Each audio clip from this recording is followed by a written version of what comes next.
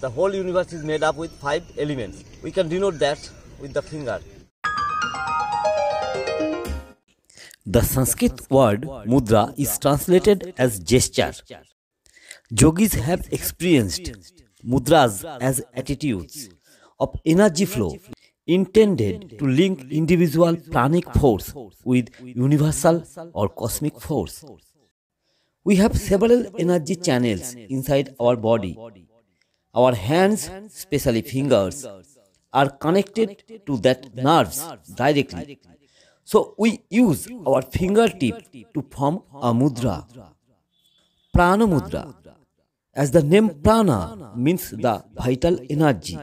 By doing prana mudra, you can enhance this energy throughout the body.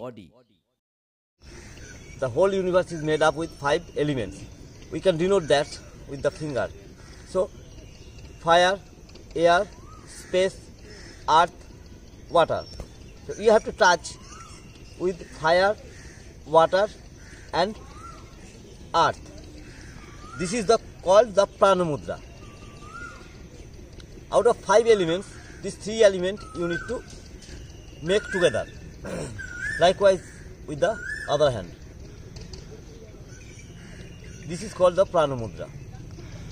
Now, when you are doing any pranayama or meditation, you need to place your both hands on your knees and completely erect your spine. If you are doing any pranayam, then do it.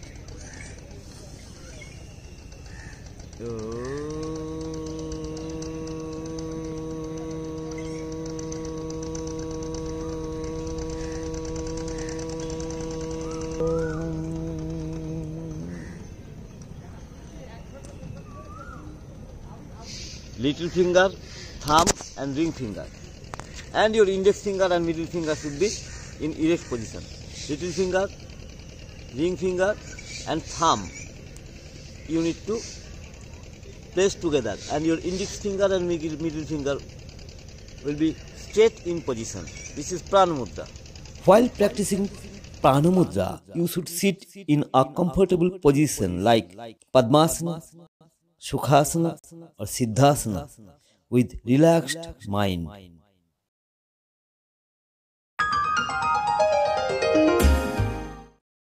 By performing prana mudra, you can make your body and mind stable.